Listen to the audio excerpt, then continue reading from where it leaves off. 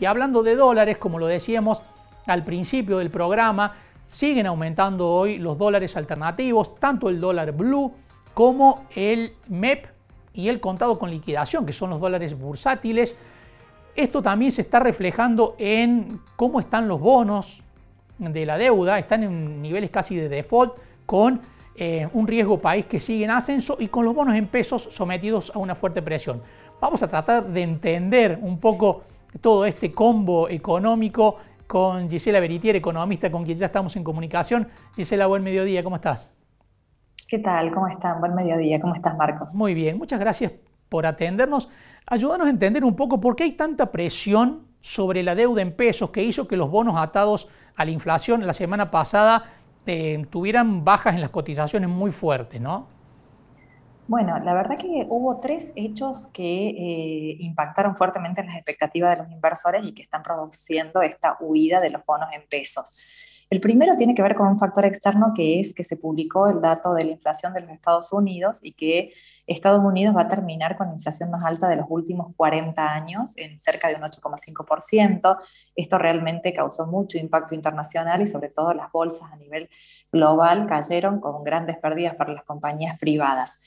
Eso eh, externamente, pero internamente se produjeron dos hechos. Por un lado, empezó a comentarse de que la deuda argentina en pesos, emitida en pesos, se reperfilaría, es decir, que cambiarían las condiciones de pago de los intereses de los bonos, y esto realmente produjo mucha incertidumbre en, eh, y está produciendo mucha incertidumbre que, en, en los inversores que invirtieron en pesos.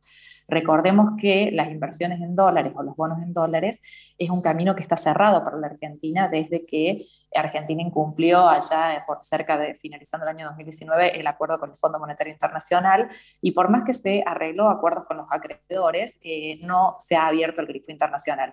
Con lo cual, el único modo en que la economía hoy se está financiando es con bonos en pesos. Y es allí donde los inversores ahora tienen dudas de cómo se van a pagar esos bonos en pesos y están huyendo de eso. Y por otro lado, otra cuestión también que causa mucha incertidumbre es el tema de la inflación. Recordemos que mañana se publica el dato de inflación, eh, pinta que si bien va a haber una desaceleración, va a seguir siendo muy alta, cerca de un 5, 5,5%, con un interanual superando el 70%, y realmente esto hace que eh, los pocos inversores, o, digamos los inversores corporativos que estaban comprando esa deuda en pesos del gobierno, estén huyendo, ¿no? Y claramente esto aumenta las demandas y las presiones sobre el dólar MEP y los dólares alternativos y el dólar blue y está impactando allí, ¿no? Pero bueno, ahí hay una cuestión que tiene que ver con que Argentina hoy tiene cepos muy fuertes, entonces corridas cambiarias, por lo menos en lo que es el tipo de cambio oficial, no va a ocurrir por el tema del cepo.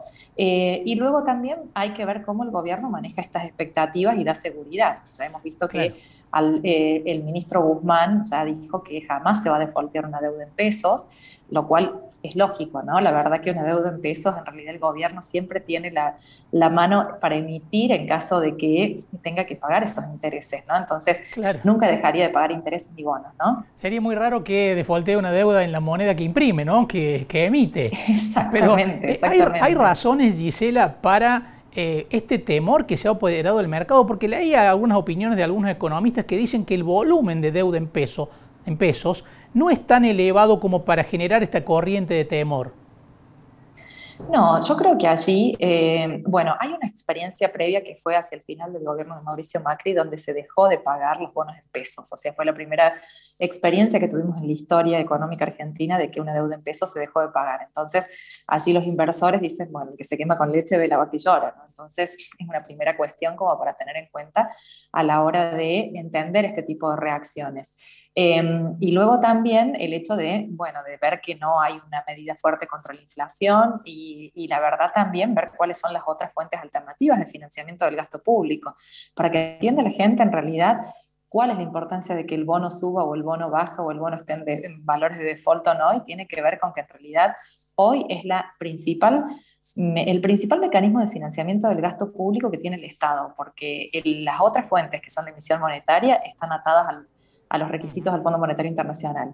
Y luego también la segunda fuente que tiene que ver con la presión impositiva, ya el gobierno no puede aumentar más presión impositiva. Entonces realmente el poder reencauzar el tema de los bonos es una cuestión importante, ¿no? Yo creo que este vaivén, eh, vamos a tener un vaivén de unos días, es importante que el gobierno dé señales de tranquilidad y, eh, y de acuerdo a las señales que brinde, bueno, realmente eh, va a estar dada el juego de si se va a poder reencauzar la, la economía, se van a poder reencauzar las inversiones o no, ¿no?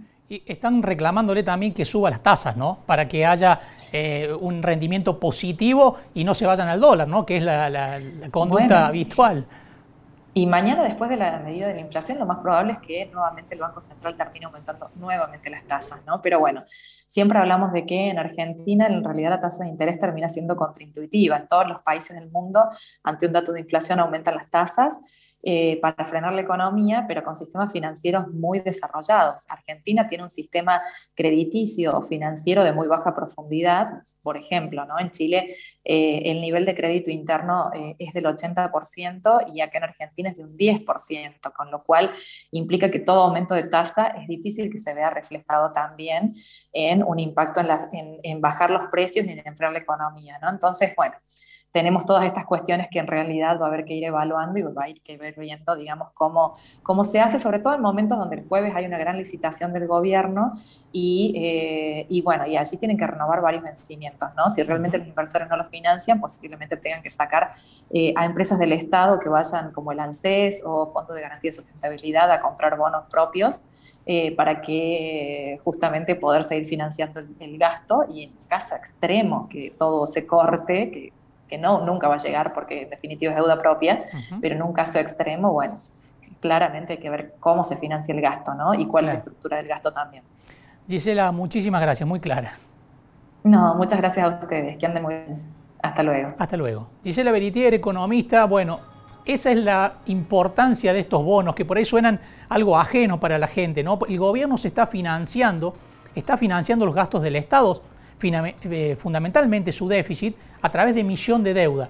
Y los inversores se están desprendiendo de esa deuda, no quieren tomar deuda en los niveles de tasas en los que están, porque además hay desconfianza con respecto a la posibilidad de que el gobierno reperfile esa deuda, con lo cual hay temor a que los bonos que vencen, por ejemplo en 2023, el gobierno tome la decisión de pagarlos más adelante, con lo cual las condiciones cambian.